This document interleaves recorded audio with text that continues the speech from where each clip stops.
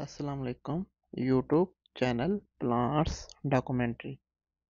आज मैं आपके लिए एक और प्लांट लाया हूँ। मैंने दो कैक्टस के प्लांट बाज़ार से बाय किए हैं, वो आपको मैं दिखाता हूँ। पहले हम इसकी थोड़ी सी सोइल बना लें।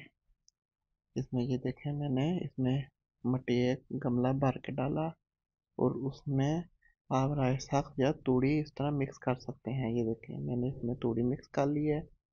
आप इसमें राई साग या सॉफ्ट करने के लिए रेत या सैंड इस तरह की भी यूज़ कर सकते हैं। ये देखें मिट्टी मैंने मिक्स कर ली है।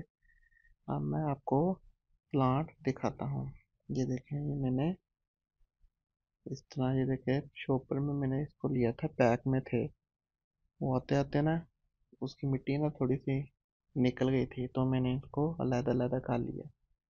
ये देखें, चार ये हैं और दूसरे भी मैं आपको दिखाता हूँ और ये देखें, इसको मैं छोटे छोटे करके पीस लगा लूँगा और इसकी भी फिर मैं आपको, जब ये ग्रो होंगे और इसकी मैं आपको एक रिव्यू भी दूँगा फुल रिव्यू ये देखें, ये कुछ इस तरह आपने भी लगा लेने हैं पोर्ट में।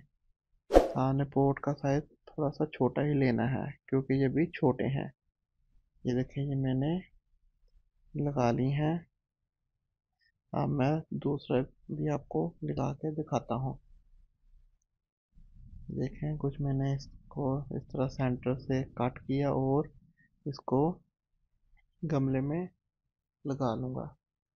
मिट्टी में मैंने ना राइसक या तूड़ी आप मिट्टी ले लें और उसमें रेत ले लें और सॉफ्ट करने के लिए जो उसमें मिट्टियाँ तैयार करें वो डाल दें। मैंने तो इसमें थोड़ी सी रेत डाली है, मिट्टी है और किचन कम्पोस्ट और तूड़ी इस तरह का मिक्सचर डाल दिया है।